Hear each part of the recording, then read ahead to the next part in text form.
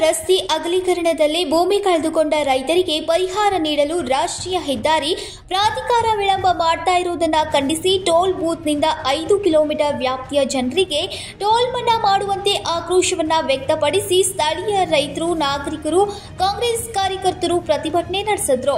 ಖಾನಾಪುರ ಬೆಳಗಾವಿ ರಸ್ತೆಯಲ್ಲಿರುವ ಗನೇಪೈಲ ಸುಂಕದ ಕಟ್ಟಿಯಲ್ಲಿ ಮಂಗಳವಾರ ಬೆಳಗ್ಗೆ ಹನ್ನೊಂದರಿಂದ ಮಧ್ಯಾಹ್ನ ಒಂದು ಮೂವತ್ತರವರೆಗೆ ಪ್ರತಿಭಟನೆ ನಡೆಸಿದ್ರು.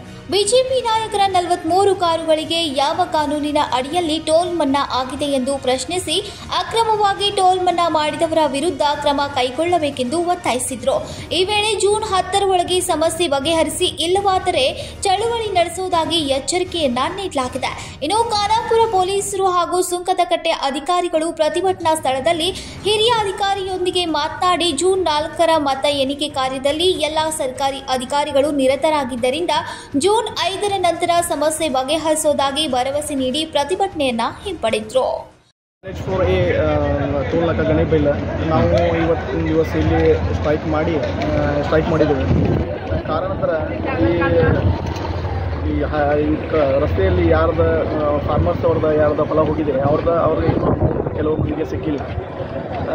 ಒಂದು ಏಳು ಎಂಟು ತಿಂಗಳ ಹಿಂದಗಡೆ ಡಿ ಸಿ ಸಾಹೇಬರು ಇಲ್ಲಿ ಬಂದು ಪ್ರಾಮಿಸ್ ಕೊಟ್ಟು ಹೋಗಿದ್ರು. ಇಲ್ಲಿ ಅಂದರೆ ಯಾರ್ಯಾರಿಗೆ ಇದು ಫಾರ್ಮರ್ಸ್ಗೆ ಏನು ಇರ್ತದೆ ನಾವು ಅವಾರ್ಡ್ ಮಾಡ್ತೀವಿ ಅಂತ ಕೊಡ್ಲಿ ಇನ್ನೂ ಮಟ್ಟ ಏನು ಅದು ಮುಂದೆ ಸ್ಟೆಪ್ಸ್ ಅವರು ತಗೊ ತಗೊಂಡಿಲ್ಲ.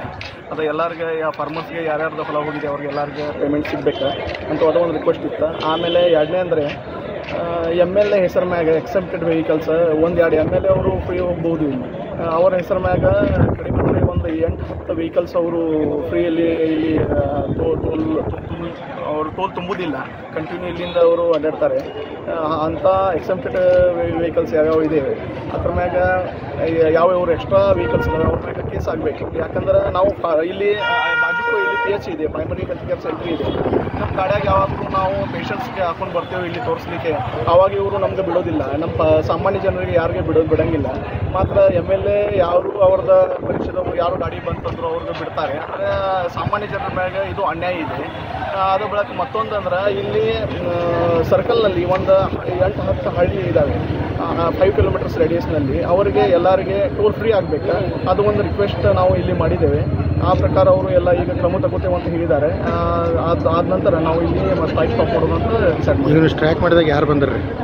ಈಗ ಸ್ಟ್ರೈಕ್ ಮಾಡೋದಕ್ಕೆ ಇವರು ಸಿ ಪಿ ಐ ಸಾಹೇಬ್ರ ಪಿ ಐ ಖಾನಾಪುರಿ ಇವರು ಬಂದಿದ್ದಾರೆ. ಆಮೇಲೆ ಅವರು ಇಲ್ಲಿ ಎನ್ ಎಚ್ ಫೋರ್ ಅಥಾರಿಟಿದವ್ರಿಗೆ ಮಾತಾಡಿದ್ದಾರೆ. ಇವರು ನಮ್ಮ ಇ ಸಿ ಡಿ ಸಿ ಸಾಹೇಬ್ರಿಗೂ ಅವರು ಮ್ಯಾನೇಜರ್ ಅವರು ಮಾತಾಡಿದ್ದಾರೆ ಅಂತ ಹೇಳ್ತಾ ಇದ್ದಾರೆ. ಅವರು ಏನು ಕ್ರಮ ತಗೋತಾರೆ ಮೇಲೆ ನನ್ನ ಹೆಸರು ಪ್ರಸಾದ್ ಪಟೇಲ್ ಅಂತ ನಾ ಗ್ರಾಮ ಪಂಚಾಯತ್ ಸದಸ್ಯ ಗರ್ಲಗುಂಜಿಯವರು ಮತ್ತು ಇವರು ನಮ್ಮ ಎಲ್ಲರೂ ಕಾರ್ಯಕರ್ತರು. ಮಹದೇವ್ ಪವಾರ್ ಕನ್ನಡಮ ನ್ಯೂಸ್ ನೆಟ್ವರ್ಕ್ ಬೆಳಗಾವಿ.